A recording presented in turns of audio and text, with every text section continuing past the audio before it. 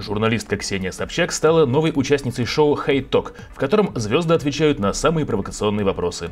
Ксения в этом выпуске подробно рассказала о своем отношении к толстым людям. По словам телеведущей, она имеет право не любить толстых, если за этим не следует призыв сажать их в тюрьму или заставлять худеть.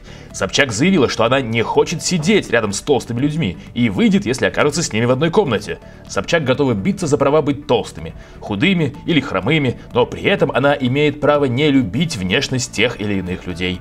Ксения подчеркнула, что сделает все, чтобы у ее сына не было таких проблем. Именно поэтому трехлетний Платон четыре раза в неделю посещает спортзал и не ест сладкое.